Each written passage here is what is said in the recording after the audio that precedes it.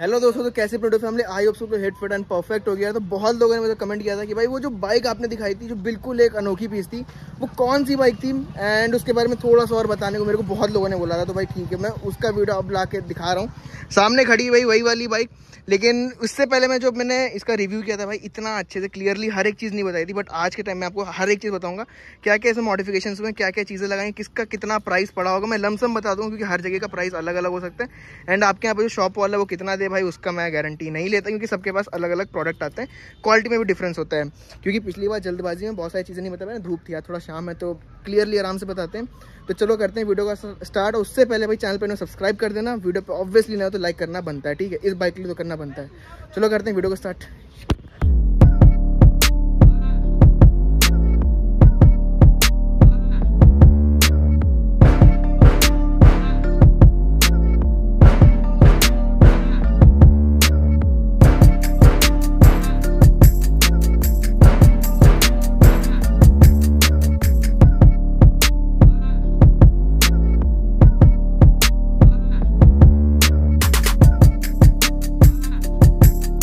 तो भाई, वीडियो को अब स्टार्ट करते हैं। भाई, एक चीज़ मैं पूछूँगा, आप लोग ये सस्ता बताना, ये कौन सी बाइक है? देखो 350 सीसी का इंजन है और ये इंजन डिज़ाइन सबको पता है, ठीक है? बट है कौन सी बाइक सही जवाब देने वाले को मिलेगा मेरा लाइक सिंपल इससे ज़्यादा कुछ नहीं। अब इसमें सच बताऊँ तो ये है भाई हंड्रेड थ्री फिफ्टी बट सच बताओ ना, इसका जो लुक किया गया वो मैं कहूँगा ना, साढ़े तीन सौ में इसको एक कैफ़े रेसर बनने की कोशिश की ऑलरेडी वो कैफ़े रेसर जैसी दिखती थी बट अब इसे पूरी कन्वर्ट कर दिया गया एंड बहुत लोग बोलेंगे भाई, इसकी पीछे की जो सीट चैसी होती है, भाई, वो पूरी चेंज की है ये सब। भाई, उसका टेंशन मत लो। वो काटा वाटा नहीं है इसको अलग से बनवाया है बंदे ने। तो इसका कॉस्टिंग अराउंड आपको भाई हर एक चीज़ में आपको डिस्क्रिप्शन में बता दूँ कितना हुआ था। ठीक है, ये सब चीज़ें इसमें पड़ी थी। एंड सीट अलग से बनवाई बंदे ने पूरी की पूरी। एंड अब इसके बारे में बात करें ना, पीछे लाइटिंग भाई, इसकी बहुत ज़रूरत पड़ती है भाई। पीछे से कोई आ रहा है, आपको पप्पी ना देते तो भाई ये रेड लाइट होना कंपलसरी क्योंकि मॉडिफिकेशन बंदे ने ए टू जेड चीज़ ऐसा किया है ना कि रोड लीगल रहे मतलब दिक्कत ना दे किसी को। इसके बाद ये लाइट्स लगवाई भाई इंडिकेटर लाइट्स क्योंकि इंडिकेटर लगाने की यहाँ पे कोई जगह नहीं थी तो बंदे ने बहुत स्मार्टली ना इतनी सही जगह पर इतना छोटा बट काफ़ी ब्राइट है। बेकार मत समझना बहुत ब्राइट लाइट है। एंड इसके बारे में बात करें भाई तो यहाँ पे लगे हुए हैं, भाई, हमारे व्हील कवर लगे हुए हैं। व्हील कवर इसमें सर बताओ ना, मैंने आज तक भाई किसी भी बाइक में ऐसी कैफ़े रेसर बाइक में ये चीज़ नहीं देखी बट आज जाके देखी। एंड मतलब पिछली वीडियो में बताया था मैंने बट फिर से बता रहा हूँ एक चीज़। एंड इसके बाद यहाँ पे स्टिकरिंग की गई है भाई, इसमें जी टी स्पोर्ट स्पोर्ट्स लिखवाया है। तो सच बताओ ना, पूरी उसी की तरह लगती है। तो इसमें बहुत सारे कलरिंग ऑप्शन ये सब किया बंदे ने। एंड ये मैट ब्लैक किया गया। बाकी अगर किसी को जैपनीज आती तो भाई बता सकते हैं क्या लिखा हुआ है जैपनीज लैंग्वेज में। कोई चाइनीज़ मत बोलना जैपनीज लैंग्वेज अगर पता हो तो। एंड फ्रंट में भाई लाइट लगवाया। बस एक चीज़ मेरे को थोड़ा अजीब से लगा, भाई जो इंडिकेटर है ना, उसको हाइड किया है। लेकिन आप स्मार्टली देखो जो लास्ट की कोने की बिल्कुल चीज़ है ना भाई, वहाँ पर हल्की सी जगह छोड़ी गई ना, ताकि इंडिकेटर सामने वाले को थोड़ा सा दिख जाए। एंड अंधा करने वाली लाइटें मैं बोलूँगा बट बंदे ने इसको कवर करके रखा हुआ है कि हाँ भाई, बस सिर्फ़ स्टाइल के लिए दिखे अच्छा देखने में अच्छा मैंने भाई नंबर प्लेट भाई ने अभी हटा के रखी हुई कि प्राइवेसी ना ख़त्म हो भाई की। एंड फ्रंट में लाइट की बात करें तो भाई ये आसानी से आपको चार हज़ार से लेके भाई बारह हज़ार से पंद्रह हज़ार तक के रेंज में दिख जाती है इन फ़ील्ड की लाइट्स तो वो आपके हिसाब से कि भी आपको कौन सा डिज़ाइन अच्छा लगता है? कुछ लोग इसमें स्कल लगा के हैं, कुछ लोग अलग। तो भाई ने सिर्फ़ single O ring light with बीच में डीआरएल दिया हुआ है। और बीच में सबसे कोने में भाई अंदर एलईडी दी हुई है। अगर आपको दिख रहा है ना एलईडी दी हुई है भाई। इसके बाद आगे कस्टम इसने भाई आगे से पूरा हेडलैम्प को कवर किया हुआ है।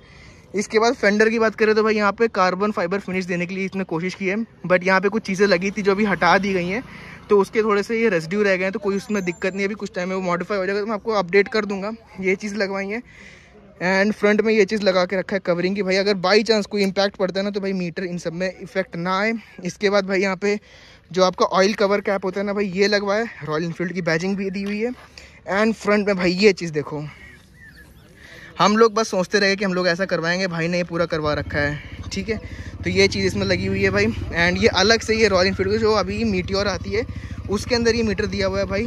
तो ये है किस चीज़ के लिए? आप मेरे को कमेंट करके बता सकते हो कि meter three normal hundred three fifty में सिर्फ़ एक मीटर दिया हुआ है बट ये दूसरा कौन सा है? कमेंट डाउन करके बताओ, जिसको इनफील्ड के बारे में पता होगा। एंड ये लाइट की अलग से बटन्स लगवाए हुए हैं। तो भाई कुछ ऐसा मॉडिफिकेशन करवाया बंदे ने। बाकी दो चीज़ और बची हैं भाई।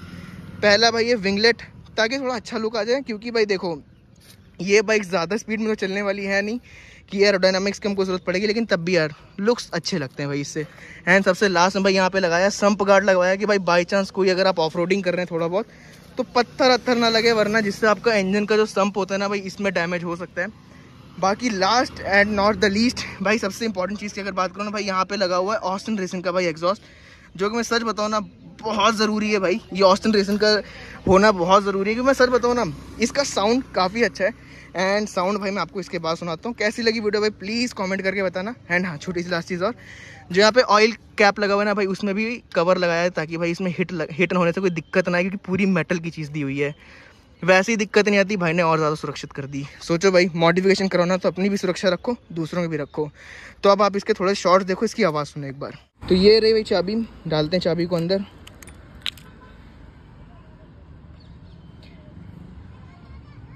तो भाई अब इसको करते हैं यहाँ से start and listen the sound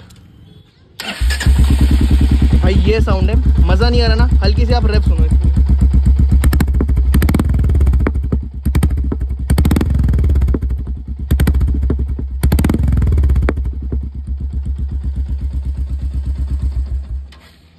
तो भाई आपने हल्के हल्के भाई इसके पटाखे सुने होंगे ना? भाई ये हल्के हल्के पटाखे देती है बट अगर हाई वेज में चल रही है, काफ़ी गर्म हो गई है एंड इसके बाद आप एक सडनली एक्सलेशन छोड़ते हैं ना तो पटाखे बहुत ज़बरदस्त मारती है। तो भाई कैसी लगी वीडियो यार? काफ़ी गर्मी भी थी भाई, लेकिन आपके लिए हम लोगों ने किए कमेंट सेक्शन आए थे तो भाई वीडियो को प्लीज़ लाइक करना शेयर करना एंड सपोर्ट दिखाओ। तो वीडियो करते हैं, खत्म। हाँ लास्ट चीज़ और बता दूँ भाई, यहाँ पे बस एक ये छोटी चीज़ लगी हुई है। इसे क्या बोलते हैं? कमेंट करके आप बता सकते हो। तो मिलते किसी और ऐसे मजदार वीडियो में। तब तक राइट हार्ट राइट से पेन बाय